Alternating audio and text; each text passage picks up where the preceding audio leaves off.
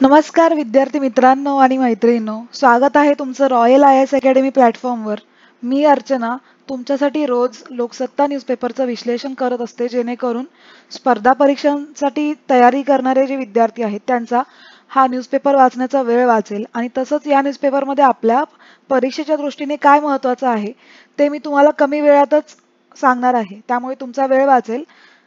So तुम्ही नक्की video बघा.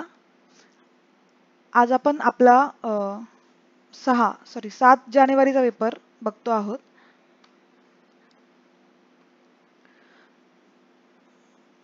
महाराष्ट्र सेक्शनमध्ये आपण आहोत आता. हा इथे एक न्यूज आहे. कोकण किनाऱ्यावरील कासवांच्या विणीचा हंगाम लांबला बदलत्या हवामानाचा परिणाम. तर इथे आपण बघतोय की दरवर्षी हिवाळ्याच्या सुरुवातीला कोकण किनारपट्टीवर विणीसाठी येणाऱ्या ओलिव्ह रिडले जातींच्या कासवांचा हंगाम यंदा बदलत्या हवामानामुळे लांबला असल्याचे अनुभवाला येत आहे. तर हा जो ओलिव्ह रिडले कासव आहे त्याबद्दल आपण थोडीशी माहिती घेऊया.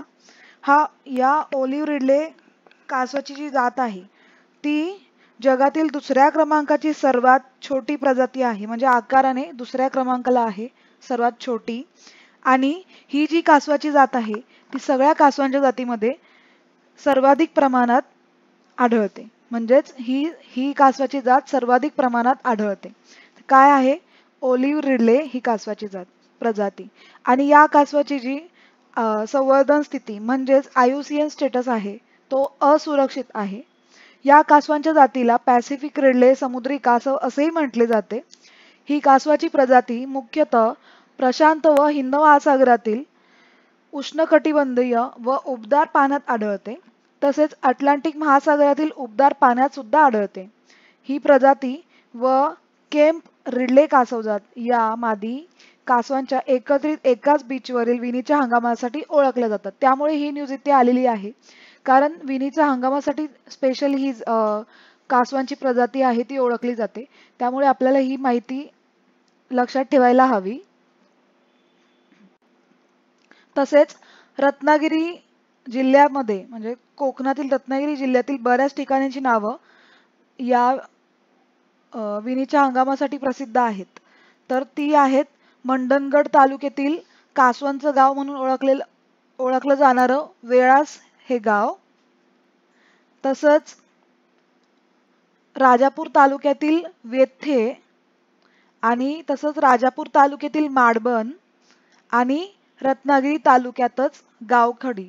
हे चार गावं आहेत. तर आपल्याला ही गावं लक्षात या ठेवायची आहेत. गावखडी माडबन वेथे आणि वेळास. ही चार गावं आहेत जी या कासवांच्या विणीच्या हंगामासाठी प्रसिद्ध आहेत. सो आपण ही न्यूज कव्हर केलेली आहे. आपण पुढची न्यूज बघूया.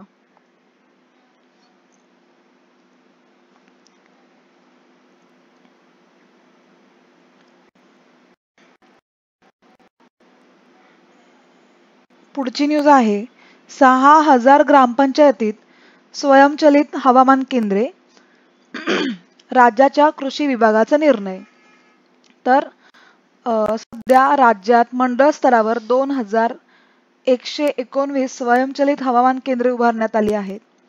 तापमान वाऱ्याची दिशा आणि वेग सापेक्ष आर्द्रता पर्जन्यमान यांची अद्ययावत माहिती मिळवण्यासाठी ही सहा हजार ग्रामपंचायतीमध्ये उभारण्याचा निर्णय कृषी विभागाने घेतला आहे. या स्वयंचलित हवामान केंद्रांमार्फत पावसाची आकडेवारी जमा केली जाईल. पावसाची गावनिहाय आकडेवारी मिळावी. तसेच अतिवृष्टीमुळे होणाऱ्या नुकसानीची तंत्रशुद्ध माहिती मिळावी हा उद्देश यामागे आहे. आणि पहिल्या टप्प्यामध्ये ज्या ग्रामपंचायत क्षेत्रांची लोकसंख्या पाच हजारपेक्षा जास्त आहे तिथे ही केंद्रे कार्यान्वित केली जातील. आणि या अ, केंद्रांचा फायदा कसा होईल तर तापमान वाऱ्याची दिशा वेग सापेक्ष आर्द्रता पर्जन्यमान यांची माहिती मिळू शकणार आहे. तसंच शेतकऱ्यांना हवामान अंदाज व कृषीविषयक सल्ला मिळवण्याबाबतही ही केंद्रे उपयुक्त ठरणार आहेत. पीक विमा योजना आणि हवामान आधारित फळ पीक योजना या योजनेच्या अंमलबजावणीसाठी सुद्धा ही केंद्रे उपयुक्त ठरणार आहेत अशी माहिती आहे.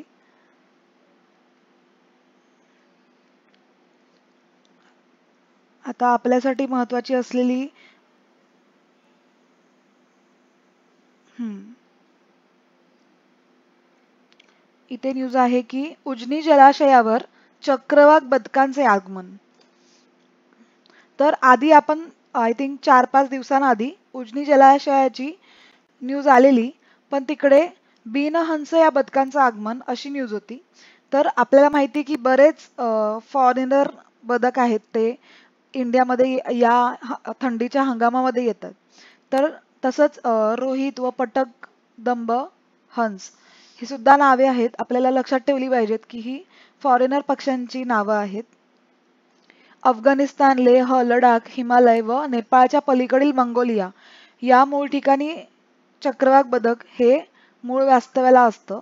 तसंच या पक्षाचं जे शास्त्रीय नाव आहे ते टाडोना पेरुगिनियाह हे नाव आहे. आणि या बदकाला ब्राह्मणी बदक आणि इंग्रजीत रुडी शेल्डक या नावाने सुद्धा ओळखतात. मराठीतील या बदकाची नावं आहेत ब्राह्मणी बदक चकवा चकवी व सोनेरी बदक आणि या पक्षाचं जे वर्णन आहे संपूर्ण अंगावर बदामी किंवा भगव्या रंगाची सोनेरी पिसे तसेच डोके व मान केतकी रंगाची शेपटी काळ्या रंगाची आणि बदकांपेक्षा आकाराने मोठी असतात. तशीच ही जी बदकं आहेत ती मिश्राहारी आहेत म्हणजे व्हेज नॉन व्हेज दो दोन्हीही. आणि यांचा जो विणीचा हंगाम आहे तो एप्रिल ते जून दरम्यान आहे. म्हणजे इथे विणीच्या हंगामासाठी येत नाहीयेत हे आपल्यासाठी महत्वाचं आहे. महाराष्ट्र सेक्शनमध्ये आपल्यासाठी याच न्यूज आहेत. आता आपण देश विदेश मधील बघत आहोत.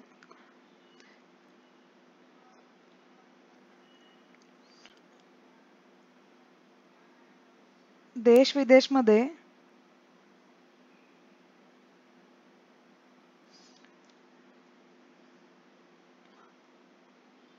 एक इथे अशी न्यूज आहे की वैद्यकीय कोट्यामध्ये ओबीसी आरक्षणाला सुप्रीम कोर्टाची मंजुरी मिळालेली आहे. आणि तसंच आर्थिक दुर्बल घटकांसाठी दहा टक्के आरक्षणालाही मान्यता मिळाली आहे. आपल्याला आधी याचं बॅकग्राऊंड जाणून घ्यायचं आहे की केंद्रीय सरकारने जे दहा टक्के आर्थिकदृष्ट्या मागास घटकाला आरक्षण दिलेलं त्या विरोधात ही याचिका सुप्रीम कोर्टामध्ये दाखल केलेली.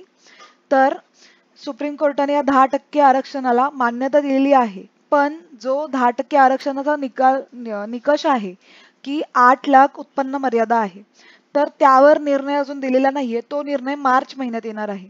म्हणजेच आठ लाख उत्पन्न मर्यादेचा निर्णय अजूनही मान्य झालेला नाहीये.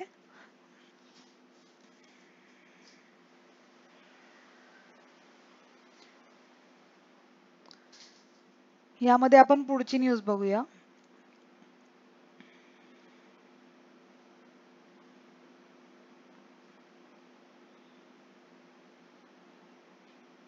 हुकुमशाही राजवटी विरोधात कझाकिस्तानात हिंसाचार.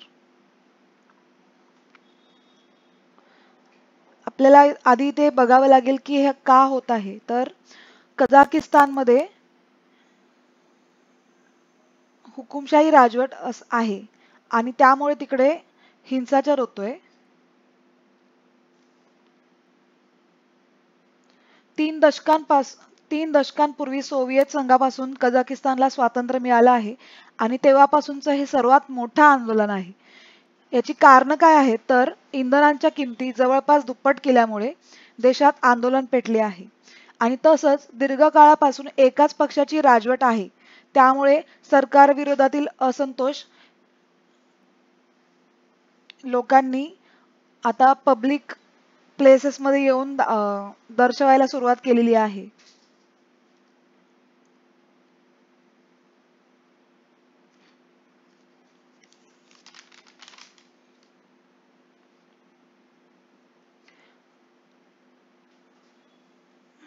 पुढची न्यूज आप पुढची न्यूज इथे नाहीये. आता आपण संपादकीयमध्ये बघत आहोत.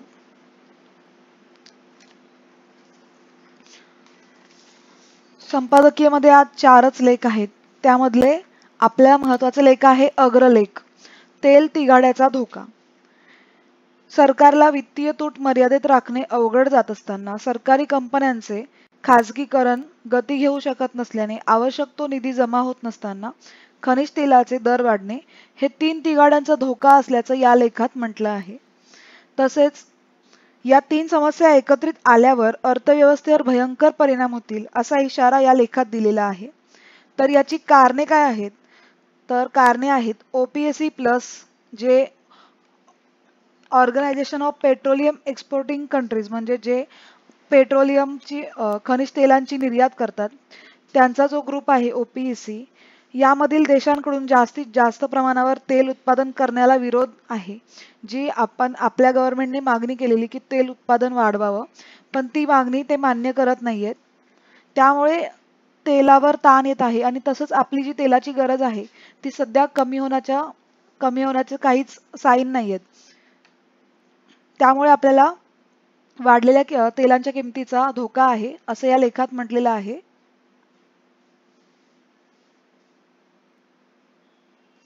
तर पी आय ई आर म्हणजेच politics of international econ economic relations या विषया अंतर्गत हा प्रश्न येऊ शकतो आपल्याला. तर हा लेख तुम्ही डिटेलमध्ये वाचा जर तुम्हाला इंटरेस्ट असेल तर. तसंही मी या लेखामधील जे आपल्याला महत्वाचं आहे ते सगळं कव्हर केलेलं आहे. सो संपादकीय इथे झालेला आहे. आणि लोकसत्ता विश्लेषणामध्ये एक आहे महत्त्वाचा लेख जो पंतप्रधानांच्या सुरक्षेच्या आताचा जो मुद्दा आहे मीडियामध्ये त्यावर आहे. तर आपल्याला हे जाणून घेतलं पाहिजे की पंतप्रधानांच्या सुरक्षेची जबाबदारी कोणावर असते? तर इथे बघा पंतप्रधानांच्या सुरक्षेची जबाबदारी ज्या विशेष सुरक्षा पथकाकडे म्हणजे special protection group S P G यांच्याकडे असते. त्यांच्या परिचालनाची मार्गदर्शक तत्वे लेखिक स्वरूपात आहेत. त्याला ब्ल्यू बुक असं म्हटलं जातं. आणि बाकी खूप डिटेल्स वगैरे आहेत. ते आपल्या परीक्षेच्या दृष्टीने महत्वाची नाही आहेत आणि तसंच लाईफस्टाईल ट्रेंडिंग लेख फोटो आणि व्हिडिओ यामध्ये आपल्यासाठी असं महत्वाचं नाही आहे सो इथेच मी आपलं हे विश्लेषण थांबवते. तसंच तुम्हाला काही कमेंट करायचे असेल तर तुम्ही करू शकता. व्हिडिओ आवडले असेल तर लाईक करा. आमच्या रॉयल आय एस अकॅडमी प्लॅटफॉर्मला म्हणजे चॅनलला सबस्क्राईब करा. आणि तुमच्या बाकीचे जे मित्रमैत्रिणी आहेत जे या परीक्षेची तयारी करत आहेत त्यांच्यासाठी हा व्हिडिओ खूप फायदेशीर ठरेल. तर त्यांना सुद्धा तुम्ही शेअर करू शकता. धन्यवाद.